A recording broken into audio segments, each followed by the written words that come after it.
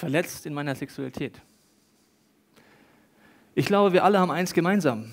Wir wissen, dass die Leute, die uns am nächsten stehen, uns am meisten verletzen können.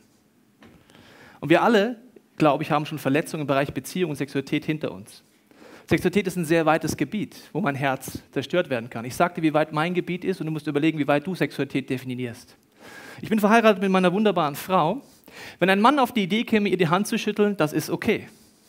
Wenn er auf die Idee käme, diese Hand länger als 10 Sekunden zu halten und leichte Bewegungen, die so gehen, zu machen, wäre für mich bereits eine Grenze ganz klar überschritten. Ja, wir sagen, don't touch, don't touch this. It's my woman. Don't touch this. Also bereits nach wenigen Sekunden Berührung, die zu lang ist, kann es schon verletzend werden, oder? Wie viel mehr, wenn es im Bereich Sexualität geht, den intimsten Moment, den wir zwischen Menschen haben können. Ich weiß nicht, wie dein Herz heute Morgen aussieht. Aber die Frage ist, glaube ich, nicht, ob wir verletzt werden in Beziehungen und in der Sexualität, sondern wie wir damit umgehen können. Wir wollen einsteigen in dieses Thema und ich glaube, ganz egal, wie du dich bezeichnest, wo du auf deiner Reise bist, spirituellen Reise mit Gott, und du sagst, du hast eine persönliche Liebesbeziehung mit diesem Gott oder du sagst, äh, du kannst mit ihm noch gar nichts anfangen. Wir haben, glaube ich, drei Sachen gemeinsam. Erstens, wir haben Interesse an Sex.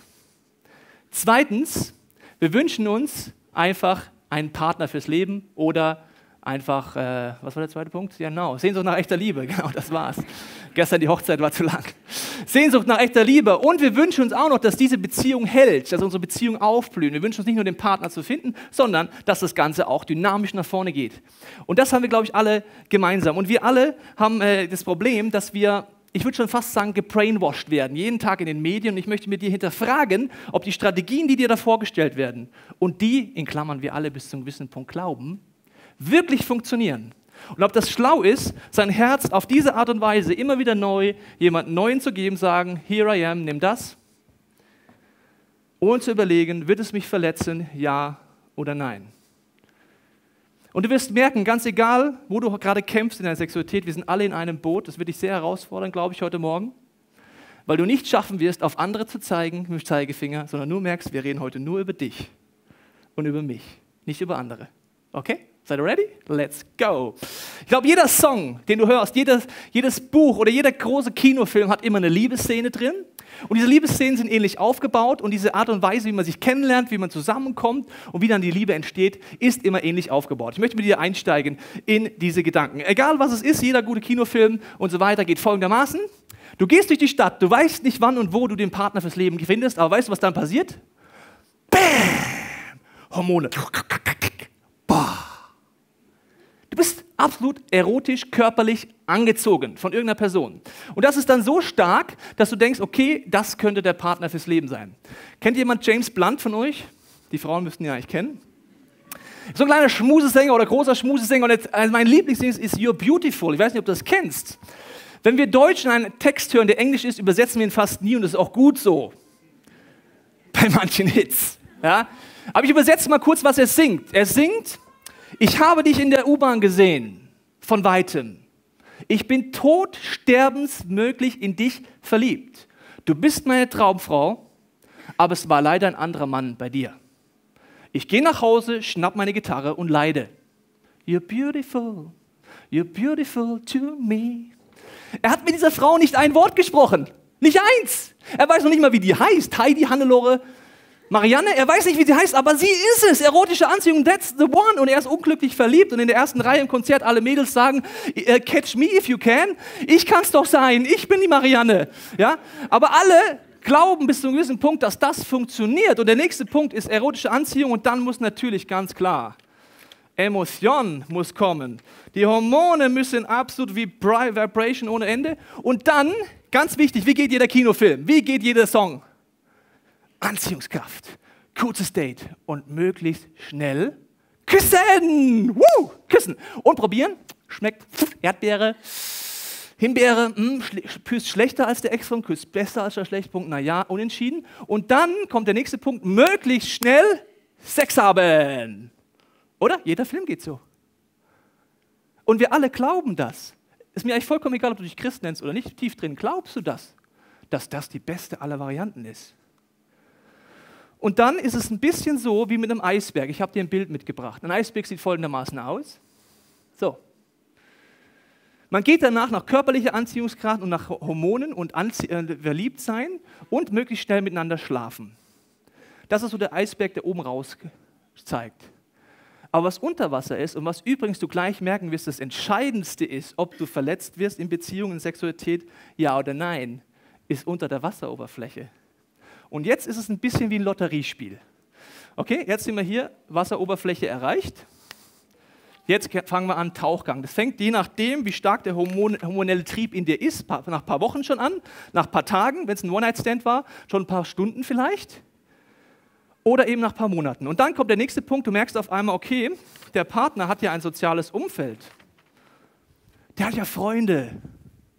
Und dann kommt die Lüge Nummer eins, liebe Frauen, besonders eure Lüge, aus dem Frosch mache ich einen Prinzen. Der hat zwar nur Stinkpilze als Freunde und diese Rockertypen, die stinken mich an, aber ich werde ihn umerziehen. Welcome to reality. Viel Spaß dabei. Du machst durch Erziehung, liebe Frau, aus einem Frosch keinen Prinzen. Aber wir versuchen das und wir glauben das. Wir sind doch schon so nah beieinander und wir haben schon diese enge sexuelle Beziehung. Das muss doch möglich sein. Und manchmal verschenken Leute die besten Jahre ihres Lebens für einen Frosch der niemals zum Prinz wird. Dein Freundeskreis ist ein Spiegel von dir. Wenn dort nur Machos sind, sagen wir es mal so, ja, könnte es vielleicht sein, dass du auch einer bist? Ist mal nur in den Raum gestellt. Das heißt, du siehst ein Spiegelbild. Wenn du Glück hast, ja, all in gegangen, first kiss, first sex, first Emotion und lernst die Freunde kennen, pff, die sind auch okay, dann lernst du die Familie kennen. Das ist das Kleingedruckte. Schwiegermutter, Schwiegervater, denkst du, uh, yes, we can. Und dann, vielleicht hast du immer noch Glück. Immer noch Glück. Dann kommt der nächste Punkt und irgendwann, wenn vielleicht die erste Hormonelle nicht mehr hormonell nicht so am Start ist, redet man mal außer Sex und Küssen und wir gehen essen und trinken mal vielleicht über eine Lebensvision oder über Werte. Dann sagt vielleicht eine von beiden, ich möchte Karriere machen, der andere sagt, ich möchte Kinder machen. Beides berechtigt. Und dann kommt die nächste Lüge. Wir waren doch schon so nah zusammen. Wir sind doch schon so nah zusammen. Wir wohnen vielleicht sogar schon zusammen. Und jetzt der Frosch, der wird ein Prinz. Irgendwann checkt er auch, dass es nicht um Karriere machen, sondern um Kinder machen geht. Und der andere denkt sich, irgendwann checkt sie auch, dass es um Karriere machen geht und nicht um Kinder machen. Du kannst die besten Jahre deines Lebens auf diese Art und Weise in eine oder viele Beziehungen investieren. Wenn es bricht, hier oder hier, ist es schmerzhaft. Und irgendwann vielleicht kommst du auf die Idee, naja, wie sehen wir denn eigentlich das mit Gott? Haben wir den gleichen Gottesbild, haben wir den gleichen Glauben? Haben wir die gleichen Ressourcen, wenn es um Vergebung, wenn es um Heilung geht, wenn es um Vertrauen geht, ja oder nein? Auf diese Art und Weise, wie wir Beziehungen oft anfangen, würden wir kein Auto kaufen. Ich sehe dich von der James Blunt, wenn er ein Auto kaufen würde. Ich habe dich auf der Autobahn gesehen von 200 Metern. Du bist so wunderschön. Ein BMW, ich kaufe dich für 60.000. Keine Ahnung, ob der fährt, ob da ein Trabi-Motor drin ist, ob alles nur Fake ist, was auch immer. Ich habe letztens äh, jemanden gesehen, der hat eine Karosserie von einem Porsche gebaut und war dem Fahrrad drin gesessen. Das gibt es wirklich nach außen, sah er aus wie ein Porsche. Und in der Erotik und der Emotion sieht alles aus wie ein Porsche. Immer. Ja, wir würden so niemals ein Auto kaufen. Wir würden, wenn wir uns nicht auskennen mit dem Auto, was würdest du tun? Ich nehme einen Freund mit, der sich auskennt und sagt, check das Ding durch komplett. Aber wenn es uns um Herz geht, ja, nicht um Geld. Geld kannst du wieder verdienen, liebe Freunde. Geld kannst du wieder verdienen. Dieses Herz hast du wie oft einmal. Mit dem Herz gehen wir ganz anders um, weil wir tief drin glauben, dass diese Message stimmt, auch wenn alles um uns herum in dieser Gesellschaft dagegen spricht. Die Scheidungsrate, die Stars, wenn du mal tiefer hinguckst, außer was die Gala schreibt, mal ein bisschen tiefer. Alles spricht eigentlich dagegen, dass es funktioniert. Und wenn du es gerade so lebst, dann spürst du in dir auch, deine Träume in dir werden immer mehr gebrochen. Deine Ansprüche an deinen Partner schraubst du immer mehr runter. Vielleicht bist du schon an dem Punkt angesagt, dass Männer sind Schweine. Frauen sind Schweine. Wenn du da bist, bist du an einigen Abzweigungen falsch abgebogen. Und du weißt es auch. Wenn jetzt Jesus auf den Plan kommt, finde ich ihn immer, wie soll ich sagen, herausfordernd oder amüsant. Ich weiß nicht, wie ich es nennen soll. Weil der redet über so Themen und sagt so, super, das ist jetzt also eure Vorstellung. Ihr könnt es gerne weiter so probieren. Und ganz wichtig, er lässt dir den freien Willen. Du kannst weiter so Beziehungen leben. Aber er sagt, meine Idee für Beziehungen sieht so aus. Bam. 180 Grad andersrum. Erst schauen, was ist unter der Wasseroberfläche, bevor ich mich entscheide, mit Haut und Haar im wahrsten Sinne des Wortes hinzugeben. Erst zu schauen, ob du überhaupt vertrauenswürdig bist, dass ich einfach dein Herz in die Hand gebe und sage, mach damit, was du willst. Weil wenn du dich verliebst und wenn du dich öffnest, dann passiert genau das. Du gibst jemand anders dein Herz in die Hand und er kann es so richtig zerkneten, zerstören, drauf rumtrampeln. Er kann alles damit machen. Jesus sagt, fang damit an, was dich zusammenschweißt, wenn du dieses, dieses, dieses in deinem Leben hast. Das ist ein absolutes Fundament. Was ist Wert und Vision? Passt es zusammen? Wie sieht es da aus? Und natürlich hast du in dem ganzen Weg hoffentlich erotische Gefühle. Ja, das finde ich dann schon schräg, das muss richtig verstehen. Es kommt nicht irgendwann die Erotik automatisch, du findest den schon anziehend, hoffentlich, mit dem du datest. Ja? Sonst wird es komisch. Ja? Dann komm nochmal zu mir, müssen wir nochmal ganz von vorne anfangen. Aber jedenfalls, Gottes Vision ist, dass hier ein entscheidender Punkt kommt vor der Sexualität. Und das nennt er die Ehe. Und von der Ehe haben fast alle von uns ein komisches Bild. Gottes Traum für dich, dass du von Sexualität, in der Sexualität nicht so verletzt wirst, ist die heterosexuelle Ehe. Das bedeutet, dass du so viel wert bist in Gottes Augen, dass er sagt, ich gebe mein ganzes Leben für dich. Und er ist der Meinung, dass du so viel wert bist, dass ein Partner erst kommen muss und sagen muss, ich entscheide mich mit meinem ganzen Leben bei dir zu bleiben. Jesus sagt es mal so, die Männer sollen ihre Frauen lieben wie Jesus die Gemeinde. Jesus hat sein ganzes Leben gegeben. Und er ist der Meinung, du als Frau, ich als Mann sind so viel wert, dass erst diese Entscheidung kommt und dass man dann gemeinsam die Sexualität entdeckt. Das Problem ist, erstens, dass wir denken, die Ehe ist ein Gefängnis. Das ist doch nicht Freiheit, oder? Eine freiwillige Selbstbeschränkung ist das. Ich nehme einen und entscheide mich gegen vier Milliarden. Ist das die Freiheit? Das ist ja ein Gefängnis. Gibt doch noch wie viel? Vier Milliarden oder drei Milliarden? Egal. Es gibt jedenfalls viele Frauen noch da draußen. Ist das Freiheit oder nicht? Das ist genauso wie mit dem Essen. Ich habe ein Problem, ich kann immer essen. Und mein Sohn hat es von mir geerbt. Der kann auch immer essen. No, kein Stop. Es gibt keinen Stoppknopf für uns. Und ist es Freiheit, wenn ich durch die Straße gehe und sehe auf einmal Folgendes? Boah, Döner. Essen. Ich gehe ein bisschen weiter und sehe als nächste, boah, was kommt jetzt? Schnitzel. Essen, ich bin ein freier Mensch. Essen. Gehe ich noch einen Schritt weiter. Oh, McDonald's.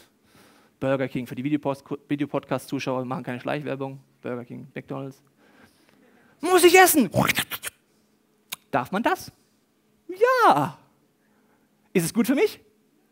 Nein. Es gibt eine äh, Reportage, wo eine Frau gefilmt wurde und ich habe bis heute kriege ich leider dieses Bild nicht mehr aus meinem Kopf. Und zwar hatte sie das Ziel, die fetteste Frau der Welt zu werden.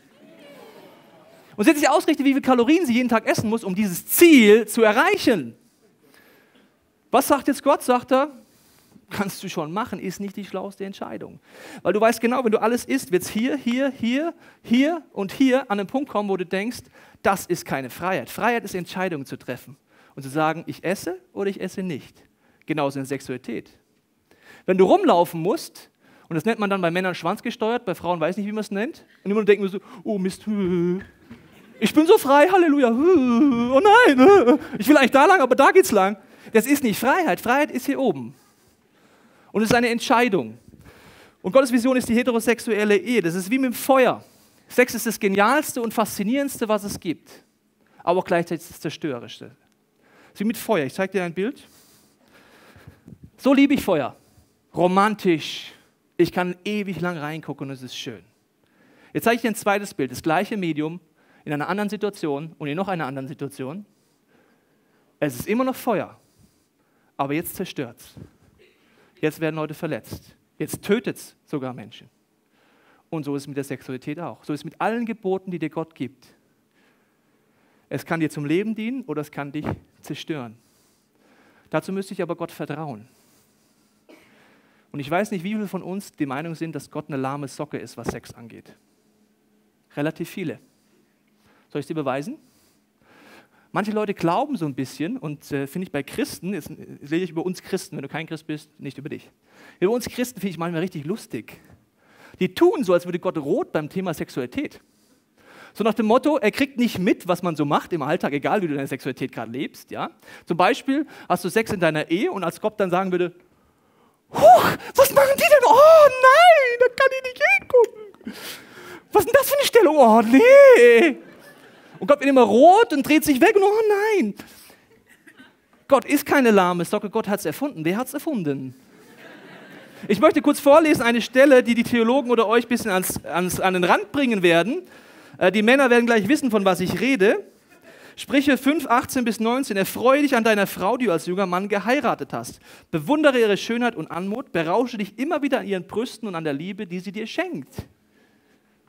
Darf man sowas sagen? Gott, ist das moralisch, theologisch okay, über Brüste zu reden? So siehst du verklemmte Christen, liebe Freunde, wenn du ein verklemmter Christ bist, du musst was ändern. Weil Gott ist nicht verklemmt, er sagt, wer hat es erfunden? Ich habe die Teile da gemacht, ich weiß genau, wie das Design aussieht. Und ich weiß auch, warum Mann und Frau so aufeinander reagieren. Der entscheidende Punkt ist nicht, dass Gott eine lahme Socke ist, sondern er sagt, es gibt Punkte, da wirst du verletzt. Dafür gebe ich dir die Gebote. Und wenn du mir vertraust, wirst du diese Verletzungen verhindern können. Wir alle kämpfen mit unserer Sexualität und wir sind alle in einem Boot. Das ist übrigens auch ein Problem, wo ich gesagt habe, wir zeigen vielleicht auf andere Leute. Ich weiß nicht, wo du gerade kämpfst. Vielleicht bist du verheiratet und du kämpfst damit, dass der eine Partner gerne mehr Sex hätte und der andere Partner gerne weniger Sex. Dann leidest du. Und du kämpfst gerade in der Sexualität. Vielleicht bist du Single und du kämpfst mit Pornografie. Vielleicht kämpfst du auch damit, dass du zum gleichen Geschlecht dich hingezogen fühlst. Vielleicht lebst du in einer der Lebensweisen, was auch immer, homosexuell oder hast Sex außerhalb der Ehe oder was auch immer. Wir alle kämpfen in der Sexualität. Das Problem ist, dass das Gottesbild oft so ist, dass wir denken, er verurteilt uns. Und es ist dann so schrecklich, dass ich mache hier ein Beispiel der Homosexualität. Eine Studie, die leider auch auf andere Leute von uns wahrscheinlich zugrifft. Es wurden kirchendistanzierte Menschen gefragt in Amerika, und ich habe die Befürchtung, in Deutschland ist es genauso. Wofür stehen die Christen? Was für eine coole Frage, oder? An eins mit absoluten gewaltigen Abstand. Christen sind gegen homosexuelle Menschen. An Nummer zwei, sie sind nicht liebevoll. Willkommen zur Bankrotterklärung der Jesus-Revolution. Dann hat man Kirchengänger gefragt, die müssen es ja wissen. Wofür steht das Christentum? Weißt du, was sie mit Abstand an Nummer eins gesagt haben? Wir sind gegen homosexuelle Liebe. Wenn ich sowas höre, könnte ich wirklich weinen. Weil egal, wo du gerade kämpfst, wir sind alle in einem Boot. Irgendjemand hat damit angefangen, auf andere zu zeigen und zu sagen, das ist aber schlimmer. Oder das ist, sexu äh, das ist sexuell eher anerkannt in unserer Gesellschaft und das nicht. Die Folge ist, dass wir alle nicht mehr ehrlich werden. Weil wir Angst davor haben, vor diesem Zeigefinger und vor dem Gericht und vor dem, was über mich herzieht. Und es hat mit Jesus gar nichts mehr zu tun. Und das ist dramatisch, weil Jesus sagt, ich liebe dich bedingungslos. Du kommst nicht in die Hölle für das, was du tust. Du darfst auch alles weitermachen wie bisher, aber es wird dich nicht erfüllen und du wirst Verletzungen haben und du wirst es weiter mit dir tragen. Es ist so weit, dass manchmal Leute zu mir kommen. Jetzt kam jemand aus einer anderen Kirche und hat gesagt, ich kämpfe mit meiner Sexualität. Ich fühle mich zu Männern hingezogen, sagt dieser junge Mann. Und ich weiß, ich kann mit meinen christlichen Freunden nicht mit einem drüber reden, weil sie werden mich verurteilen. Wenn du so lebst und auf der verurteilenden Seite bist, bist du so dermaßen weit weg von Jesus, wie es nicht weiter sein kann. Er wird es nie tun. Er sagt, liebe Freunde, ihr seid alle in einem Boot. Ich sehe all deine Abgründe, egal ob verheiratet, Single, egal wie du deine Sexualität lebst. Und er sagt, die gute Nachricht ist, du musst so nicht bleiben. Ich möchte einen Bibelvers vorlesen, der ist sehr herausfordernd. Der steht im Römerbrief 1, 26 bis 27. Da heißt es, weil die Menschen Gottes Wahrheit mit Füßen traten, gab Gott sie ihren abscheulichen Leidenschaften preis. Ihre Frauen haben die natürliche Sexualität aufgegeben und gehen gleichgeschlechtliche Beziehungen ein. Ebenso haben die Männer die natürliche Beziehung zur Frau mit einer unnatürlichen vertauscht. Männer begehren Männer und lassen ihre Lust freien Lauf. Ich habe dir zwei Sachen angemarkert. Das Wort natürlich. Die Bibel und Gott und Jesus geht davon aus, dass die natürliche Sexualität die heterosexuelle Ehe ist. Das heißt aber nicht, dass das einfach ist. Jesus geht sogar davon aus, dass du in deinen Gedanken deinem Partner treu bist und dass das natürlich ist. Aber das ist nicht einfach. Es ist natürlich nach Gottes Idee zu vergeben und Vergebung zu erleben. Aber ist das einfach? Nein.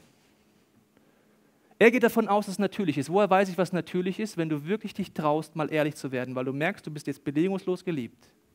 Wenn du ganz tief in dich reinhörst und überlegst, das Leben, das ich gerade lebe, ist es das, von dem ich träume.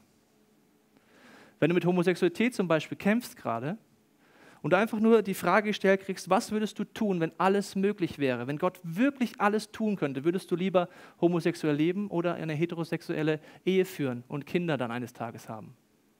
Und ich glaube, ganz tief drin wissen wir, was natürlich ist. Du kannst sogar Jugendumfragungen angucken und die sind die Leute immer schockiert. So die Philosophen und Theologen denken sich, was, die Jugend antwortet sowas? Die neueste Untersuchung, weißt du was, mit Abstand, die meiste Antwort ist von Lebensglück und Lebensvision und Lebenserfüllung bei jungen Leuten? Familie! Wie geht das denn jetzt? Wie Familie? Ich dachte, ihr wollt jeder mit jedem und dann nie mehr aufhören und dann alles durchprobieren. Familie, wie geht Familie? Mann, Frau, Kinder. Tief drin wissen wir, glaube ich, was dran ist, auch wenn du die Sexualität gerade anders lebst. Wenn du ehrlich bist, weil du weißt, du bist geliebt. Und ich glaube, Sexualität hat sehr viel mehr mit Identität zu tun, als wir es oft denken. Ich möchte sie kurz aufmalen. Oh, hier habe ich auch Stifte, cool. Wahnsinn, Felix, wie du das vorbereitet hast. Hey, die Stage Group, die ist echt so super hier, gell? Das ist Wahnsinn, Stage Group, komm. Ja, überall Stifte, ist ja Wahnsinn. Ich möchte sie kurz aufmalen. In unserer Sexualität leben wir auf der Verhaltensebene gerade auf irgendeine Art. Und es ist ganz egal, wo wir in Sexualität gerade kämpfen. Und leider hat irgendjemand mal erfunden, dass man dann sich einfach abkrampft, dass man sagt, das darf man nicht, das darf man nicht, das ist böse, das ist böse. Das verändert dich überhaupt nicht. Die Frage ist, warum verhalte ich mich so, wie ich mich verhalte? Warum, obwohl ich tief drin vielleicht weiß, dass die Sexualität in die Ehe gehört, warum lebe ich es gerade anders? Was steckt tief dahinter? Nicht im Verhalten, das ist meine Gesinnung, das ist mein Herz, das ist ganz tief drin. Was zieht mich zu Männern hin? Was zieht mich zu Frauen hin? Was passiert in mir? Ich möchte das Beispiel machen, warum denn Sexualität mit Identität zu tun hat, mit zwei Beispielen. Eine junge Frau lerne ich kennen und sie erzählt mir von ihren Beziehungen in der Vergangenheit, dass sie sich trifft mit meiner Frau und mir. Und sie erzählt mir immer die gleiche Geschichte. Ich suche mir, warum auch immer, Männer aus, die nicht freundlich mit mir umgehen. Die behandeln mich eigentlich wie so ein Stück Dreck. Warum auch immer, ich bleibe bei diesen Männern. Ich weiß das zwar irgendwie, aber ich bleibe da. Und dann haben wir gemeinsam herausgefunden, dass sie in ihrer Kindheit der Vater die Familie verlassen hat. Dass eine tiefe Verletzung, was Männer angeht, in ihr ist und sie die ganze Zeit der Meinung ist, ich bin es gar nicht wert, dass jemand anders mit mir umgeht. Merkst du, wie tief Identität mit Sexualität zu tun hat?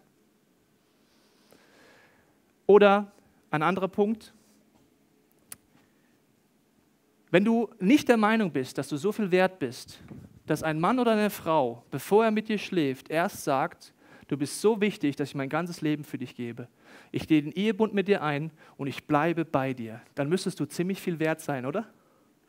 Dann müsstest du ziemlich liebenswürdig sein auch. Das Problem ist, wir glauben das nicht.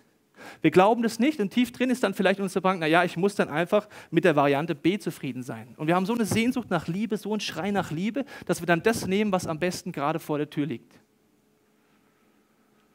Die Frage ist, warum verhalte ich mich so, wie ich mich verhalte? Und Jesus ist jemand, der hat eine gute Nachricht dabei. Der sagt, ich sage dir, was das Ziel ist. Dass du in einer heterosexuellen Ehe lebst, wo die Sexualität aufblüht. In Klammern, nur weil du verheiratet bist, ist das noch nicht erreicht. Und mein Wunsch ist, dass du von mir verändert wirst. Du darfst ehrlich werden. Ich helfe dir dabei, dorthin zu kommen. Egal wie tot dein Herz gerade ist, egal wie tot der Lebensbereich Sexualität gerade bei dir ist, Jesus ist Spezialist darin, Totes lebendig zu machen. Das ist die Botschaft vom Kreuz.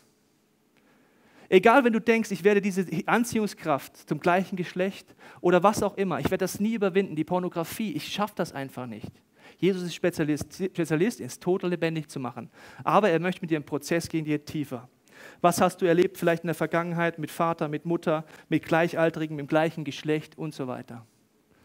Ich glaube, dass unsere Sexualität heute nur eine Frucht von dem ist, was tief in uns steckt.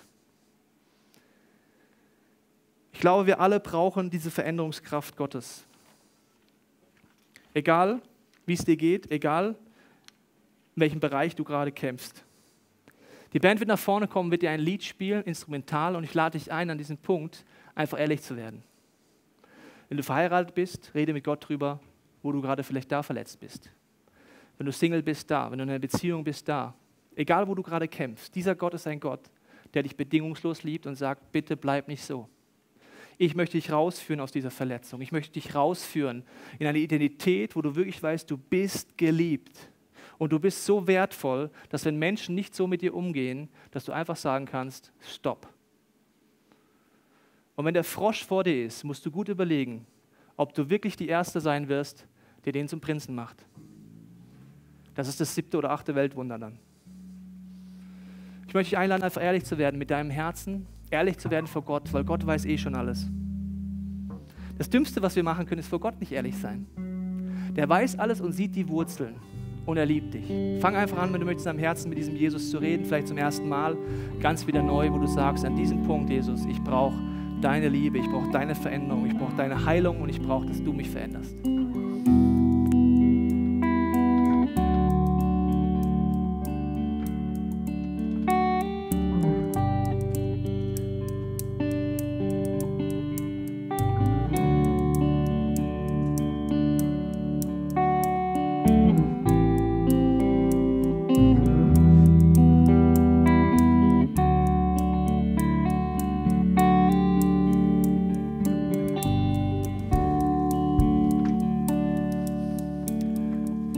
Kannst du in deinem Herzen weiter mitbeten. Jesus, du weißt, wie jeder Person uns heute Morgen hier geht, wo wir kämpfen mit unserer Sexualität, mit unserer Identität. Und Jesus, du bist der Einzige, der uns dahin führen kann, dass wir wirklich einen tiefen Wert haben, eine tiefe, dass wir tief geliebt sind von dir und dass wir dann als Ergänzung im Zwischenmenschlichen auch erleben, dass wir durch dick und dünn gehen können mit den Menschen, die uns nahestehen.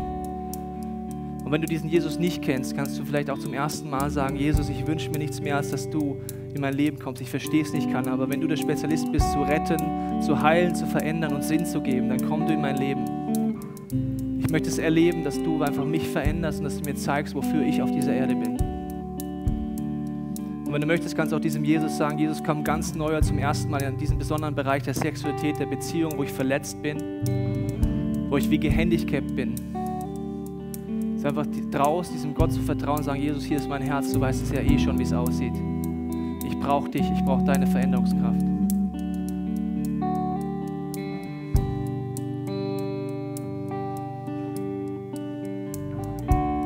Und Vater, ich bitte dich für jeden von uns, der das möchte, dass du uns ein tiefes Vertrauen schenkst, dass deine Gebote gut sind. Dass die Ziele, die du uns vorgibst, einfach die besten sind für uns. Und ich segne auch jede Ehe heute Morgen hier, wo du sagst, du brauchst neue Liebe für deinen Partner. Wo du sagst, äh, im Bereich Sexualität wünsche ich mir wieder mehr, dass wir zusammenwachsen und eins sind. Damit segne ich dich jetzt, dass der lebendige Gott einfach neu belebt, was vielleicht gerade eingeschlafen ist. Wir wollen das letzte gesungene Gebet dafür nutzen, einen Vertrauensschritt zu gehen. Das heißt, take all of me. Und wenn du möchtest, sing das einfach an deinem Platz mit, wo es darum geht, Jesus, nimm einfach alles. Nimm mich mit meinen Verletzungen, mit meinem Herzen, wie es gerade aussieht in mir. Und ich will mich entscheiden, dir zu vertrauen. Wenn du möchtest, sing das an deinem Platz einfach mit.